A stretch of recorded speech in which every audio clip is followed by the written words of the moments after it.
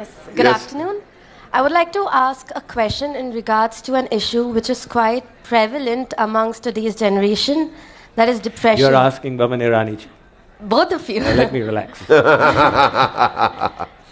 So, uh, kids nowadays, college students, school students, they spiral into depression quite easily due to reasons which may seem minute to elders, and they commit suicide very easily as well. So, what would be your message towards them, and, and how can they overcome the spiral of depression? Thank you. Oh, Swamiji, I think you should answer. I was talking about the physiology of the brain and the mind. There is a field developing called neuroplasticity, which states that the way you repeatedly think affects the nature of your brain.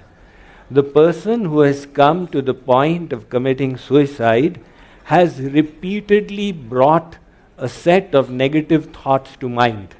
And that has brought the mind to such a state where the person is thinking that I have now got no hope in life and death is better than life. So, why did somebody reach that state? It was all the result of a Shakti, what we call chintan or repeated contemplation. Now, how do you prevent somebody from committing that act? You know, there was a question about somebody terminally ill. There are so many things in life, so many reversals that you cannot avoid.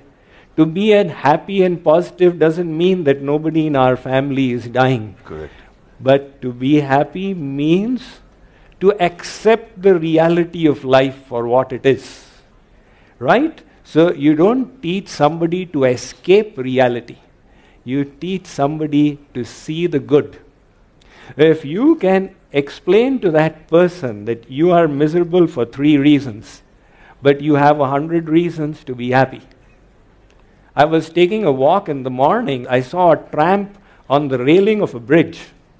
It was obvious that he is about to commit suicide. Oh boy. So I screamed, What are you doing? Uh, he hesitated. It said that in that moment, if you hesitate, then you don't commit the act.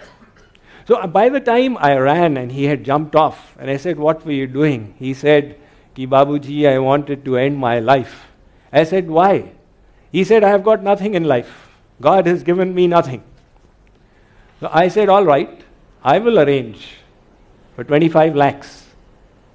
He said, You will? I said, Yes. But I will need two things in return. He said, What? I said, Give me your two eyes. He said, No, I can't do that.